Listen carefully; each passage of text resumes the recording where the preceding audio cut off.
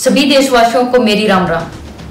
पिछले कुछ दिनों से मैंने एक दो ट्वीट किए थे, उसके बाद से काफ़ी लोग मुझे फेसबुक मैसेंजर पर व्हाट्सएप पे और ट्विटर मैसेंजर के ऊपर गलत गलत मैसेज दे रहे हैं, गालियाँ दे रहे हैं और कुछ लोग फ़ोन करके भी धमकियाँ दे रहे हैं। तो उन लोगों को मैं एक बात कहना चाहती हूँ कि कान खोलकर एक बात सुन लो और दिमाग में बैठा लेना कि मैं कोई जारा वसीम नहीं हूँ कि तुम्हारी धमकियों से डर कर घर पे बैठ जाऊँगी मैं तुम्हारी धमकियों से नहीं डरने वाली, असली बबीता फोगाट हूँ अपने देश के लिए हमेशा लड़ी हूँ और ऐसे ही अपने देश के लिए लड़ती रहूँगी और बोलती रहूँगी। और मैंने जो ट्वीट किया उसमें कुछ भी मैंने गलत नहीं लिखा है। मैं अपने ट्वीट पे अभी भी कायम हूँ और आगे भी रहूँगी। क्योंकि मैंने सिर्फ़ उन लोगों के बारे में लिखा है जिन्होंने कोरोना संक्रमण को फैलाया।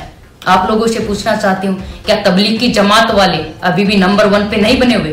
क्या तबलीगी जमात वालों की संख्या अभी भी नंबर वन पे नहीं है? क्योंकि अगर तबलीगी जमात वालों ने कोरोना संक्रमण को नहीं फैलाया होता तो अब तक लॉकडाउन भी खुल गया होता और हिंदुस्तान से कोरोना भी हार गया होता। तो जिन लोगों को सच सुनने में प्रॉब्लम है तो वो लोग एक बात और सुन लें कि मैं हमेशा सच बोलती रहूँगी और सच लिखती रहूँगी। अगर आप लोग सच सुनना पसंद नहीं करते तो या तो अपनी आदत सुधार लें, नहीं तो सच सुनने की आदत डाल लें। थैंक यू सो मच जय हिंद, जय भारत। सभी देशवासियों को मेरी राम राम। पिछले कुछ दिनों से मैंने एक दो ट्वीट किए थे, उसके बाद से काफ़ी लोग मुझे फेसबुक मैसेंजर पर व्हाट्सएप पे और ट्विटर मैसेंजर के ऊपर गलत गलत मैसेज दे रहे हैं, गालियाँ दे रहे हैं और कुछ लोग फ़ोन करके भी धमकियाँ दे रहे हैं। तो उन लोगों को मैं एक बात कहना चाहती हूँ कि कान खोलकर एक बात सुन लो और दिमाग में बैठा लेना कि मैं कोई जारा वसीम नहीं हूँ कि तुम्हारी धमकियों से डर कर घर पे बैठ जाऊँगी। मैं तुम्हारी धमकियों से नहीं डरने वाली, असली बबीता फोगाट हूँ अपने देश के लिए हमेशा लड़ी हूँ और ऐसे ही अपने देश के लिए लड़ती रहूँगी और बोलती रहूँगी। और मैंने जो ट्वीट किया उसमें कुछ भी मैंने गलत नहीं लिखा है। मैं अपने ट्वीट पे अभी भी कायम हूँ और आगे भी रहूँगी। क्योंकि मैंने सिर्फ़ उन लोगों के बारे में लिखा है जिन्होंने कोरोना संक्रमण को फैलाया। आप लोगों से पूछना चाहती हूँ, क्या तबलीग जमात वाले अभी भी नंबर वन पे नहीं बने हुए? क्या तबलीग जमात वालों की संख्या अभी भी नंबर वन पे नहीं है? क्योंकि अगर तबलीगी जमात वालों ने कोरोना संक्रमण को नहीं फैलाया होता तो अब तक लॉकडाउन भी खुल गया होता और हिंदुस्तान से कोरोना भी हार गया होता।